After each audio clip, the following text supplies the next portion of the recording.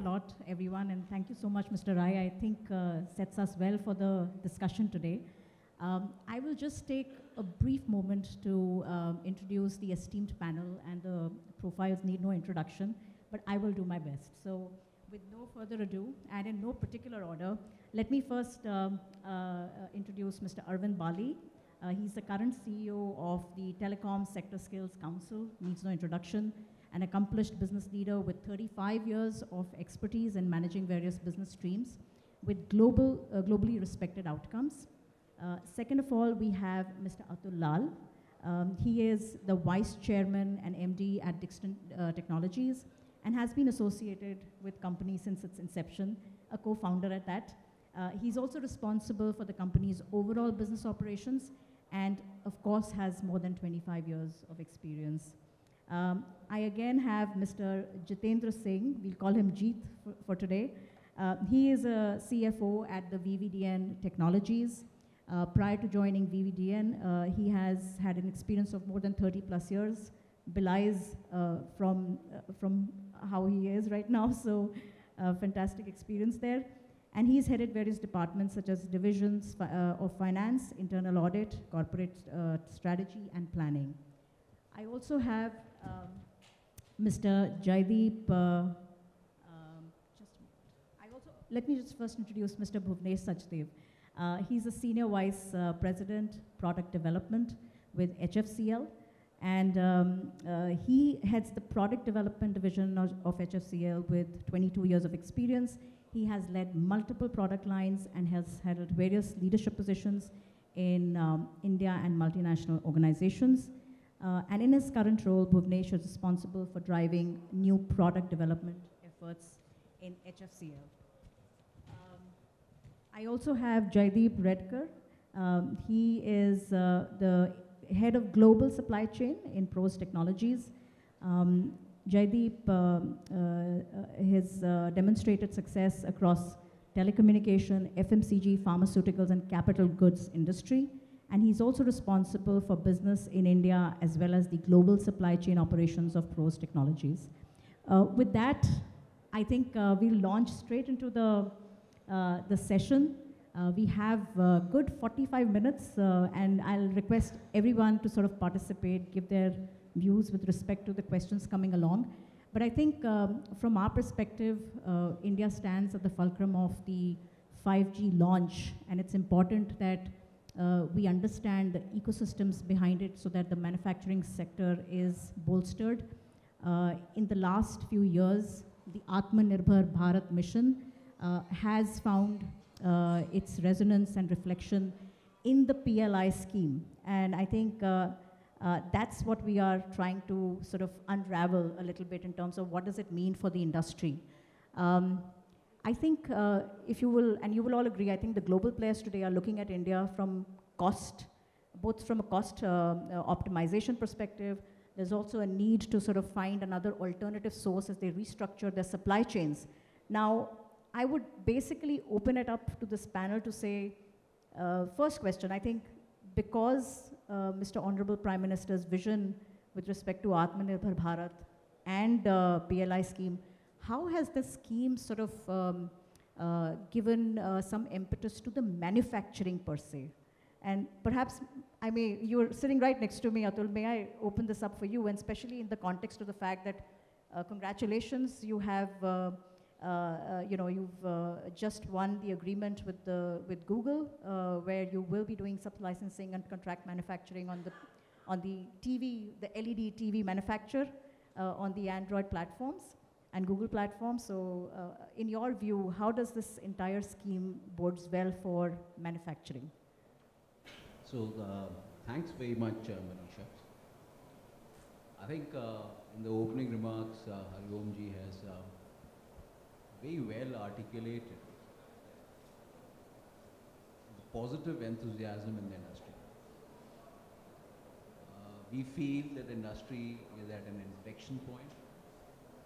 We feel it's some kind of a Y2K movement for electronics manufacturing in India. We are of a firm conviction that electronic goods being sold in India would be manufactured Second, this manufacturing over a period of time would keep on deepening. Third, very shortly it's going to be design-led, deepened manufacturing from India. Fourth, it is not only going to be servicing the domestic market, it's going to be servicing the global markets. Undoubtedly, uh, it's our inflection point.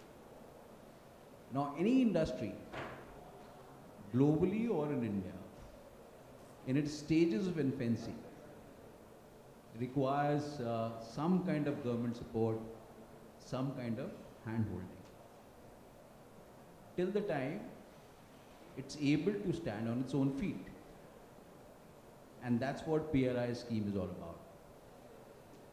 Undoubtedly, there is a skill set, but we can't be emotional about things. There was definitely a set of disabilities. And those disabilities, at least for a particular tenure of time period, needs to be bridged. And the government very prudently has, has, uh, has rolled out the PLI scheme. I'm seeing this, I mean, we at Dixon are a, a PLI beneficiary of five schemes, mobile, IT products, telecom devices, lighting components, air conditioning components. And uh, I can see, you see my global revenues for mobile, which were barely $100 million, this year going to touch $500 million. Next year are going to touch a billion dollars. And this is thanks to PLI. But then this is not it. You see, along with the PLI schemes comes a huge sense of commitment on deliverables as, as entrepreneurs because you see, please appreciate that uh, the supply chains of the principles, global brands, is very deeply embedded in China. There's a lot of inertia in shaking it up. So it's extremely important that we entrepreneurs deliver on what we have committed. And uh, I'm taking this liberty to even state that same applies to the government. That what has been committed has to be executed seamlessly. And once we are through with it, I'm very sure it's going to be a multiplier effect. It's going to just go up, up, up. It's going to deepen, deepen, deepen, and it's going to be designed. So I think we're in for good times, good for the industry. Thank you. Thank you so much. May I bring in uh, Arvind now? I think uh, Arvind, in uh, various forums, uh, uh, you know, your conversations, and I've heard some of them, you've always reiterated the fact that there is a huge gaping skill gap when it comes to the ICT industry. And with the technology dynamics playing out, where there is that skill gap is sort of going to increase. Uh, what are your views? How can this uh, particular scheme help in bridging that gap?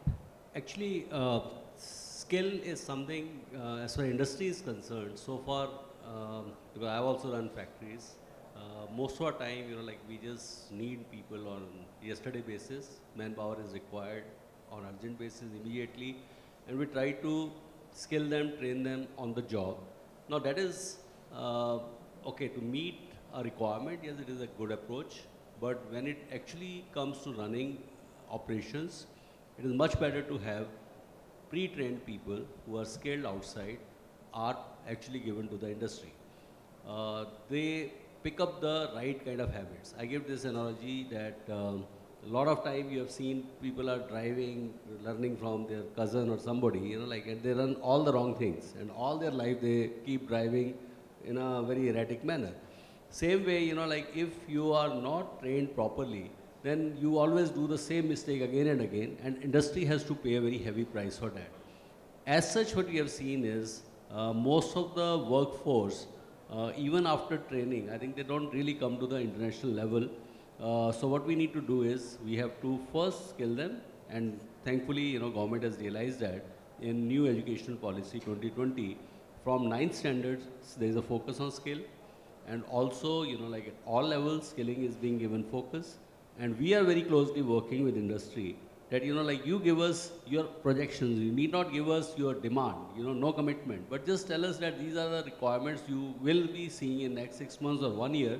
We'll proactively train manpower and provide that. So there is a lot of work happening. Government is also contributing a lot. Uh, industry is contributing through CSR funds and we are uh, training manpower. But I think the only thing what required is that uh, we being the central body will take the demand and understand the gap which is existing. And, uh, and the beauty is that on one end, as far as colleges and training institutes are concerned, they are all the time complaining that jobs not there Industry mein jao to industry bolti hai.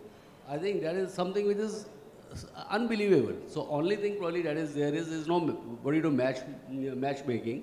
So we at Telecom Sector Skill Council we are trying to act as a bridge. We are trying to bridge that gap and will ensure that. Uh, and in last two years we have done a lot of work around that. We have come out with a portal now which is very convenient for workers, which is very convenient for industry to do it. So based on that, I think we'll be able to work a lot with the industry and make sure that they always get trained manpower in advance. Thanks a lot. Thank you. Uh, I'm, I'm turning to you, Jaideep. Um, I think uh, from everything that the government, uh, you know, the intent of the government is uh, to support the uh, investment community or the players who are investing in the PLI scheme. How can the government support um, this particular community in terms of, uh, you know, uh, the various resources in terms of capital, uh, material, manpower? Some thoughts there. So, good, uh, good afternoon and good evening to everyone here. Uh, I think uh, Mr. Hariom Rai has uh, rightly set the context for this uh, debate and discussion, this Atmanirbhar Bharat panel. From a timing perspective and a, and a strategic perspective, the, I think the clarion call given by the Honorable Prime Minister has been a, a, a very uh, meaning it, it is expected to get India into the manufacturing competitiveness of the uh, companies and, and, and countries in the East, which are the global companies. Now, for India to get into the global value chain, PLI, as uh, Mr. Rai mentioned, is, is one of the catalysts. We need to bear in mind that this catalyst incentivizes output and it's not an input. So unless and until we have all the pillars of or resources that you referred to uh, in terms of uh, talent pool, in terms of uh, power, in terms of infrastructure, in terms of uh, component system, unless those elements are in place, uh, we will start, we will feel the challenges that probably uh, may not allow us to transcend and meet the full objective of creating the Atma, Atmanirbhar Bharat that we are planning to. Now, having said that, uh, the question is why, why ICT? Uh, ICT, when you look at India, India is adding close to 10 million uh, users to the internet community on, on, a, on a every single day basis. Uh, we have been importing close to about in excess of 400 billion dollars of components and, and finished products. So if we end up even spending half of that amount internally inside the country, that would allow the country to, to not only generate the employment that is the need of the hour, it will contribute to the GDP. I think again, the, the point that you made, Mr. Rai. Uh, at the same time, it will allow the uh, MSME industry, and, and that, is the, that is the key. Unless and until we have the pillars, and that's the lower end of the manufacturing, in place, our ability to incentivize and attract the bigger players will, will, will be challenged. Because, um, mind you, while the pandemic has created changes and you know change made it favorable for India to look be considered as a one plus one destination beyond China or the East, uh, Eastern East Asian economies. It is not something that you know is easy for you know just take a factory and, and move it to another location when the component system is not very strong. I mean, I'll, I'll give you the example of Prose itself. We, we could not participate in the PLI scheme primarily because we could not meet the threshold limits of 10,000 crores, which was a minimum required for an MNC to be there. But that did not discourage us or that did not stop us from our commitment to the market, to the, to the country, because we believe in the, in, in, the potential of India, we believe in the market. We've been here for the last uh, 15 years. And we continue to stay invested and, and not only stay invested, we are planning to invest almost two times in the next two to three years than what we are currently uh, at this at this at this forum. And I would like to make that that, uh, statement. So, on one side is is the opportunity uh, that has been created by the disruptions in, in the global supply chain, where India is being favorably considered as an alternative destination to uh, the other manufacturing countries. But at the same time, I think the challenge remains for India to make sure that the resources that are needed are, are made available in the right quantity at, at the right time. Ease of business, uh, of, doing business as, uh, has, has been made clear is, is an important area that we need to continue to improve as a country. Thank you so much. Um, I think, Bhuvnesh, I'll turn to you. Um, I think uh, from everything that I've read on HFCL, you have invested in certain center of excellence um, sort of centers uh, where you are um, sort of investing in developing new age technologies. Um, if you were to look at the various schemes that uh, are coming under the PLI program, uh, what are some of those things that are both a boon as well as a challenge for you as you look into it from a manufacturing point of view? Thank you. Uh, thank you everyone uh, for having me here. And uh, let me try and uh, give you another uh, twist to the entire discussion that we are having. We are talking about, we started with a goal of making us an Atmanirbhar Bharat. And while the, the overall intent is good, we started uh, funding companies or we starting subsidizing or giving them some uh, incentives to do production in India. Production does not mean we, we become Atmanirbhar. Atmanirbhar means we are self-reliant. Today, any production that we are doing, we are totally dependent on foreign technology. We are totally dependent on foreign semiconductors. We do not have these two in India. Government has realized this and moving forward they are not only talking about PLI schemes as, as they started with, they are moving into DLI or DPLI schemes as well, where they are further in incentivizing the companies who are designing in India. And for the first time in this India Mobile Congress 2022, we can see that India is no longer a consumer country. We are now leading the technology, we are leading the innovations in the world. and companies like uh, us or any other Indian companies who are, who are investing in research and development, who are investing in developing the technology, they need to be further, uh, they need to further come forward and make sure that we provide whatever it takes to do the manufacturing here in India.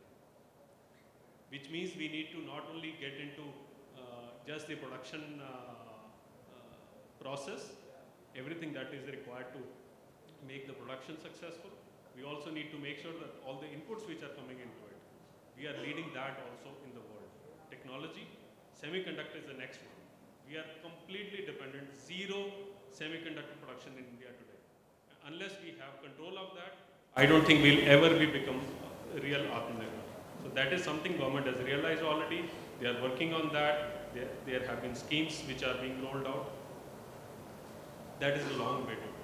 It will take another five years or even 10. I, I, I can't predict right now, but that's something that is bound to happen.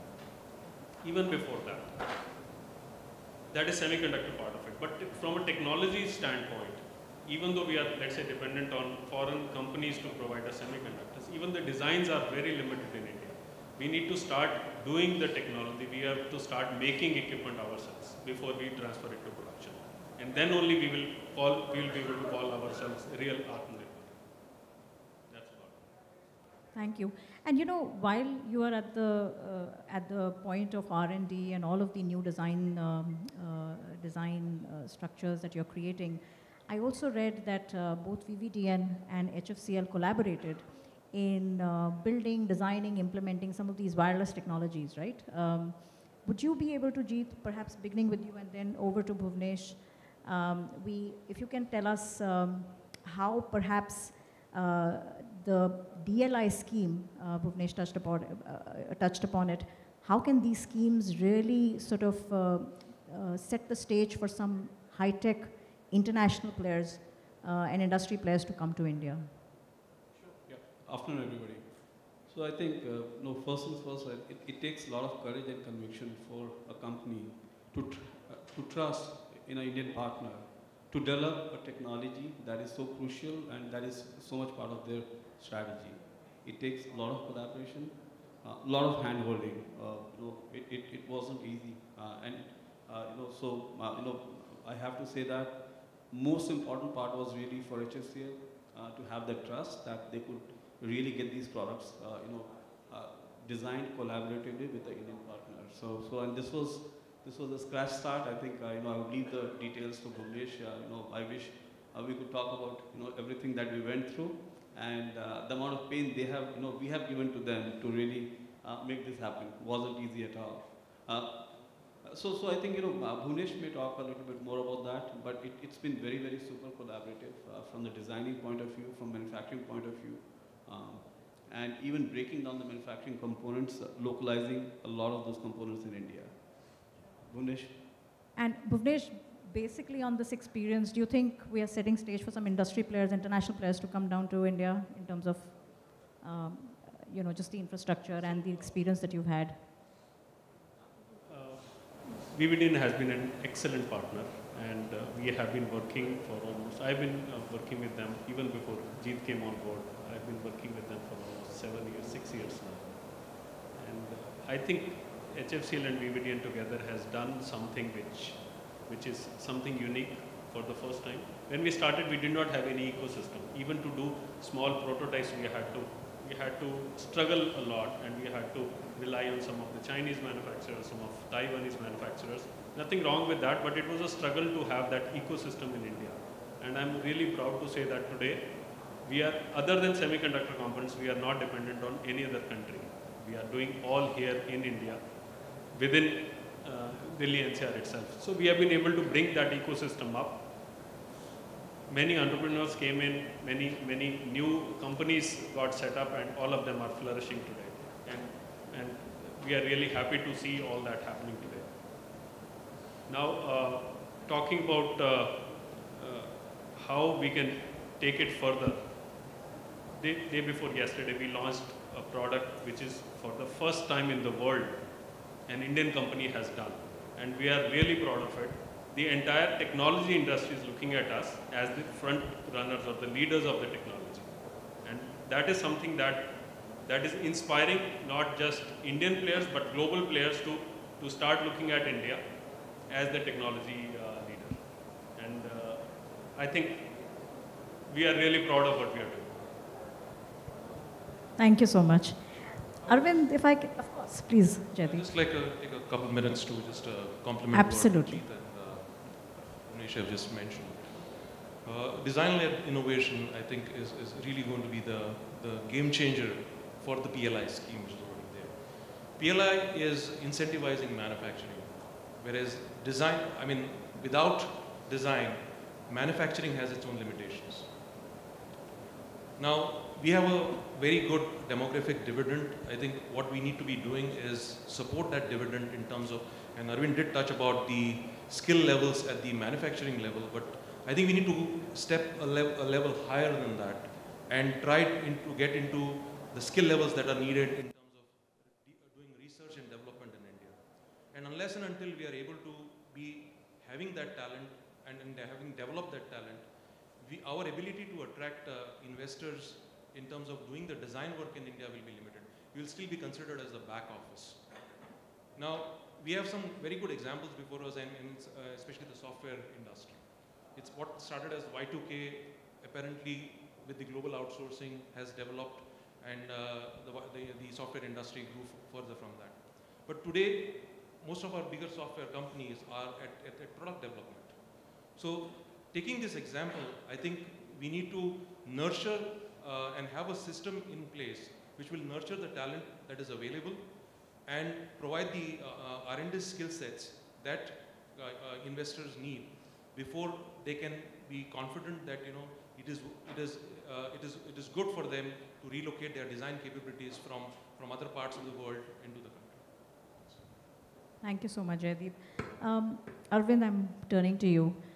Um, if you were to see, there are the recently modified PLI scheme, right? It is uh, now inviting international players. In some sense, Intel uh, has uh, announced that it will start to sort of uh, have its production facility now in India just to take uh, advantage of uh, reduced, reduced sort of dependency on imports. Um, how would you think this um, particular modified scheme will play out in terms of just again uh, getting in, uh, you know foreign industry players back in India, uh, you know increase the investor confidence and get uh, some global players to India. So any uh, you know high tech area, any development in high tech area, there are always uh, some simple steps. I think we have seen in this country also many times. There was a time when we were importing complete color TVs. Then we started uh, manufacturing color picture tube here. Then we started making glass shell here. And then you know ulti- ultimately a stage came when we became the largest exporter of picture tube as well as glass in the world. So at that time, everybody imported technology. They brought investment from there. They brought uh, experts from there. But gradually, you know, like we absorb it and we do it. Here also, I think in high tech area, one is you know like you start inventing your own wheel. It is better, you know, something is available. They are also looking for globalization. So bring in such partners, uh, give them incentives, make Indian companies their partners, right? And then uh, make the real development.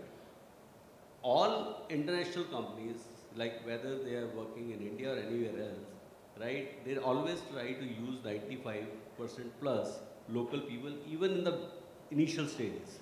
I'm not saying that in the mature stage, of course, it is 100%. So that means it is always good for the country.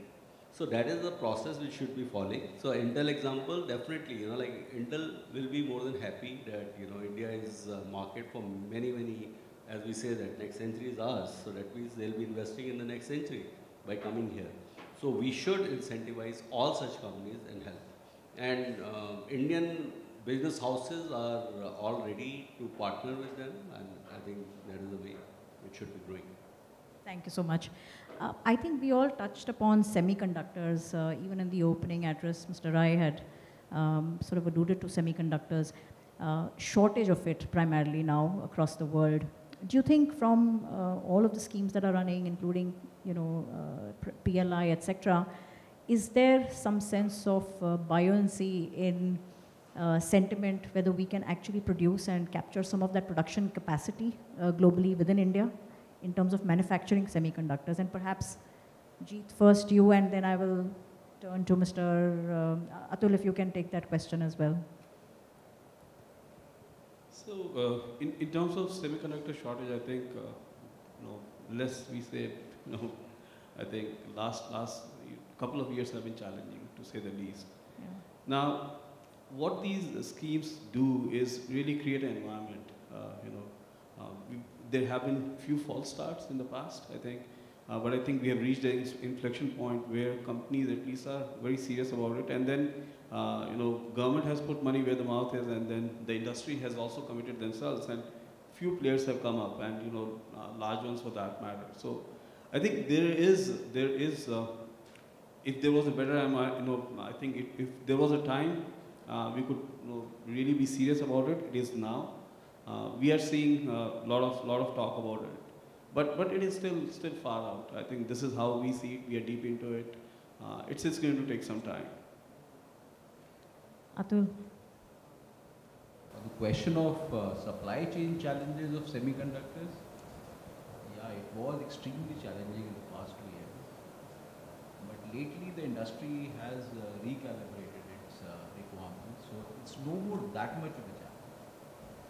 And also the supply chain situation significantly.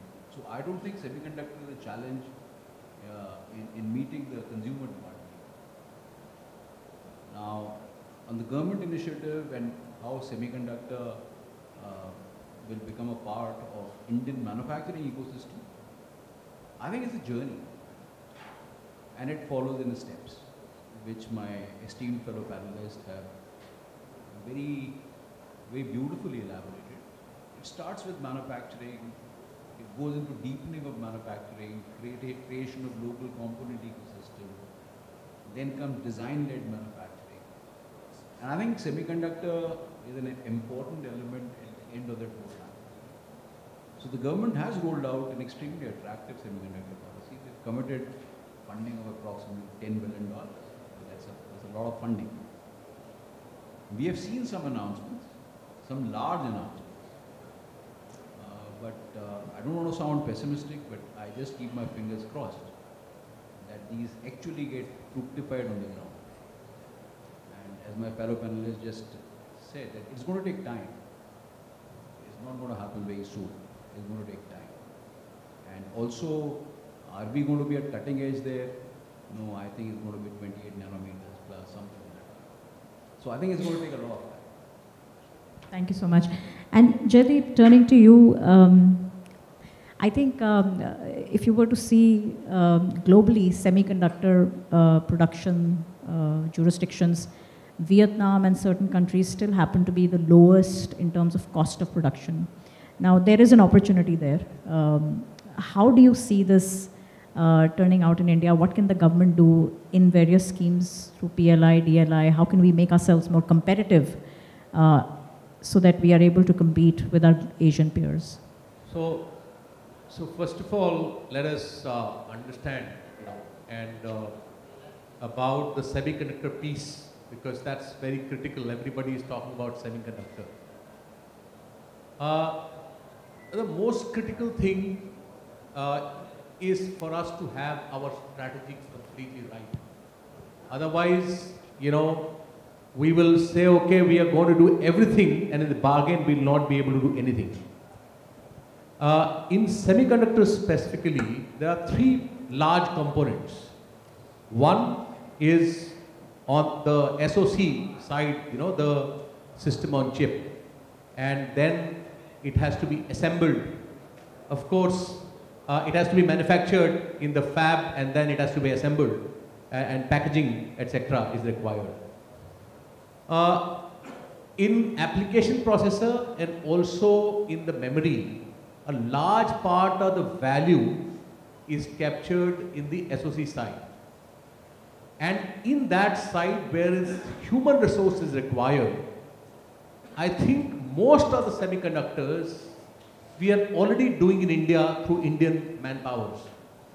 For example, Qualcomm, Intel, you know, uh, and many other companies have been doing, uh, their back offices have been here and in India, in Hyderabad, Qualcomm uh, has been designing, our engineers have been designing uh, below 7 series onwards every single chip in India. MediaTek also when they decided to come into the mobile semiconductor, they bought uh, the uh, protocol side from the Hughes Systique and the MMI side from an Indian company and they amalgamated them together and finally they started manufacturing uh, the mobile chips. So India has huge power in the SOC side and we have to harness this power.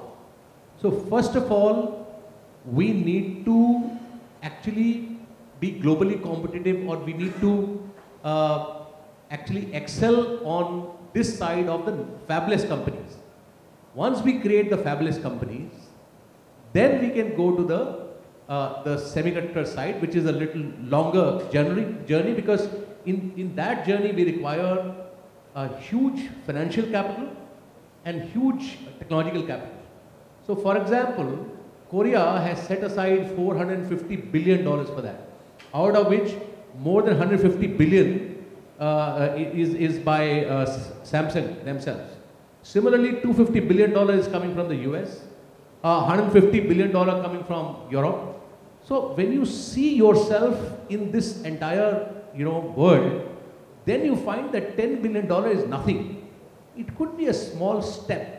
It is a necessary and desired step because maybe 10 years later we should be able to do something uh, which is required to be done on the uh, on the fab side.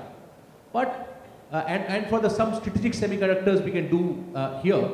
But in terms of would we be globally competitive in the semiconductor uh, fabrications uh, in India in the short term? I think it is not. But the SOC and packaging is what India must aim for and uh, not only be globally competitive, we, we should lead uh, this segment of the world uh, globally. Jeet, if you can uh, add. I think, you know, uh, so semiconductor is a long journey. I mean, the way we see it, it is 10 years out, uh, 10 years road, roadmap, and there'll be multiple steps in it. Now, from an electronic manufacturing point of view, the way we see it, there's still, there are still lots and lots of immediate opportunities. I think we, what we do is we break down the BOM. and if I set aside, let's say, if our BOM is 80%, uh, yeah, we, you know, 50%, let's say, which is, you know, class A, is, is not touchable. Uh, you know, unfortunately, the rest of the 50% as well, uh, there's so much, so much can be done in that area. You know, whether it is MBOM, whether it is connector, couplers, uh, you know, heat sinks, uh, thermals. These are all, all, you know, and all of these items, I think, uh, you know, industry has taken steps. So while we are on that journey, I think we will, and we are seeing immediate success coming in from that side. Uh, some discretes also, hopefully, you know, that doesn't require so much investments. So they, they, they are already there, you know, and we have taken some, you know, when we look at any electronic, you know, manufacturing ecosystem, we will start making the cells here, right? Memory, uh, is this work going on? So it's, it's not all doom and gloom, I would say. Uh, 10 years is, it, is going to take 10 years or 5 years or 7 years, no. But there's a lot more to be still done in those 5 years, uh, so that at least, you know, we are able to get to a point where 70, 80% you know, independence is there in that. Thank you so much. Um, before I come to the close of this panel, um, I'm going to open it up maybe for uh, the panel. One big highlight that you'd like to share with us in respect to both the PLI scheme and what can the government do in order to make sure that um, this ICT sector really, really uh, finds its place in the sun as and become what technology sector is to India. How can we be, be one of those uh, global lighthouses for telecom? Uh, Atul, starting with you. So undoubtedly, I think I would like to reiterate that uh, PLI scheme and now DLI scheme, uh, particularly in the telecom devices sector, is, uh, is an immense platform for servicing the local demand on the telecom and electronic sector side. Uh, also, in various product categories, India and the various industries, various companies in India are going to be globally competitive. It's going to generate huge employment. It's going to be a huge foreign exchange earner.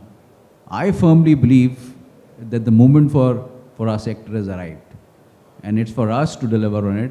It's for us to, to generate huge dividends for the country uh, in this sector.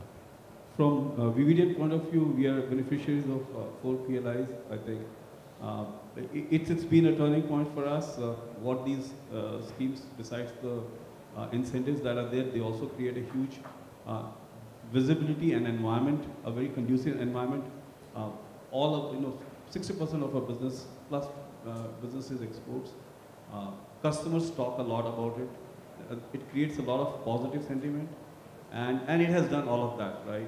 Uh, what, what, what we would have, uh, you know, what we would desire more is, uh, you know, if, if the government, you know, government has supported everything that, you know, the industry asked for. there's one area that, you know, if there's something that can be done is the, the capital, the cost of capital in the country is still higher. It is, there's still, still a major handicap there. If, if that gap can be bridged, uh, there are some incentives available, uh, priority sector lending and all, but I think if, if the government can back it up with uh, uh, capital uh, you know, and reduce that handicap, I think that would, would really, really help the industry. So, uh, you know, I think, uh, let me see how I see now. The government is the biggest company of a country, actually. And all the companies are beneath the government. And no company can evolve beyond government. When we realized that in our industry, we said that we need to work with the government very deeply. Because finally the competition is not between companies, it is between countries. And when we look at, for example, how China is subsidizing the cost of its infrastructure. So let's say, just to give you one example, uh, China give the entire factory uh, to a company free of cost for five years. And after that, you can acquire the factory. So imagine, uh, you know, you have invested hundreds of millions of dollars uh, in the factory infrastructure and you got it completely free of cost. And after five years, you are paying if you want to pay, otherwise you can take it on rent. So these inputs, China, and I'm just talk, I've just given an example of one of the inputs. China is subsidizing so many other inputs. So first of all, we understood as to how can they subsidize. This is a very important question. They could subsidize because they understand the fundamentals of economic multiplier. When one job is created of let's say a 20,000 rupees, it multiplies to about a lakh rupees, five times at least, you know, the multiplier is created. And on that, the government gets huge revenue. And because of that, the entire world is able to give subsidies and incentives. And the disabilities cannot go ever.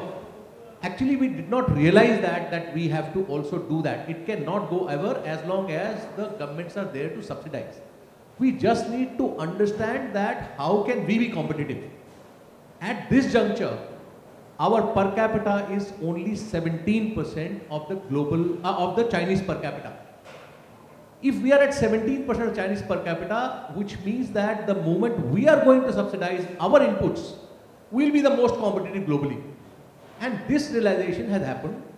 Now, after working with the government through a series of processes, what I found is that it is not the government which is the bottleneck, it is the industry which is the bottleneck. Because government has little exposure, industry has huge exposure. But industry cannot sit in their rooms and imagine something that government will be able to do. It is not possible. When industry is coming in front, making the government understand that this is the right thing to do and how it is going to impact the country's economy, jobs, etc., the government is actually looking at the leaders like that with binoculars. And if they are able to find, and the guys are not talking about this with crony capitalism mindset, the government is ready to follow everything, including what my friend talked about, the cost of capital. We are now looking at, as I've told you, that we are looking at the entire gamut of the competitiveness in which the cost of capital is very important thing. And we are looking at it holistically, that how can we bring that cost of capital at 3.8% kind of a cost of capital which is there available in China, which is even now lower than US. So all these things are completely possible. We are now determined to make India globally competitive.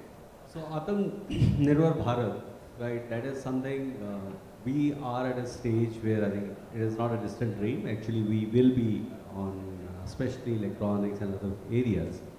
Uh, reason being, one is, you know, like we as a country has the largest uh, demand side. Second, we have got the largest uh, young population. And we have seen it happening in uh, some of the industries, like IT is one example where I think so many youth are working and they are contributing to the world economy today. Same thing should happen and should, will be happening in telecom. Ultimately, the same thing should happen in manufacturing. So what we have realized in manufacturing, uh, maybe one skill, manufacturing skill is still not very aspirational. You know, like we have to make skilling aspirational for youth and for that work is happening. Second is that, you know, when we actually have well-trained youth, they will start giving much better productivity. Companies will be able to pay them much more. So it will have like a cyclic effect and more and more youth will be ultimately joining the manufacturing. So I personally believe that, you know, if companies and academia, you know, like if they work hand in hand, I think Atmanirbhar Bharat is something which will happen pretty soon in a big way. And also all this CSR fund, you know, 30,000 crore industry spending, government has allowed that this funds can be used for skilling purpose. If that fund starts coming to the skilling uh, institutions, then, you know, definitely we can scale manpower very well. They will ultimately come to the factories, contribute better for the productivity, and will become a nation which will be ultimately Atmanirbhar. Thank you. Most of it uh, has already been said by uh, our colleagues here. And, uh, only point I, I want to add here is uh, government is doing its part. Government is uh, coming out with the schemes. Government is coming out with further incentivizing uh, on top of those schemes already. I'm sure they will continue to do that. Now we as industry now we have to start to deliver. We have to come up to speed to make sure that what government is doing we are really taking it to a reality and not just leave it to a, to a concept. So I think the industry is geared up. We are all in it, and uh, we must start delivering. And that's how we will uh, reach our goal.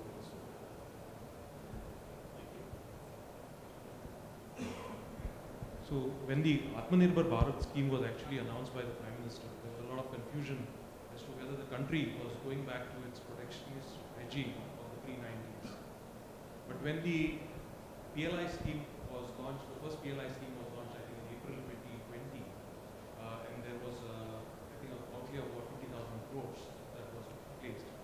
Uh, and then there was mobile handset manufacturing, uh, white goods, uh, and medical uh, devices were the first participants. And then that was followed in November by an outlay of another 150,000 uh, crore rupees. I think that is when the industry took, took this, uh, took a serious notice of what is, what is it that the government is trying to do in, in the creation of Atmanirbhar. But having said that, what we also need to take care of is while India is moving towards Atmanirbhar Bharat, the rest of the uh, East Asian economies, which were which were the manufacturing so, so was the manufacturing giants prior to India getting into the global value chain, they are also resetting their, their, their priorities. And India will do well in achieving its goal of Atmanirbhar Bha- Bharat, provided it, it makes sure that the supply constraints, whether it is in terms of resources, whether it is in terms of capital, whether it is in terms of power, land, uh, infrastructure, those those things are not moving from the unprotected sectors to the, I mean, the, to the PLI protected sectors. The expansion can only happen when there is a supply, uh, there is no supply constraint and resources are available in plenty for everybody to take advantage of this.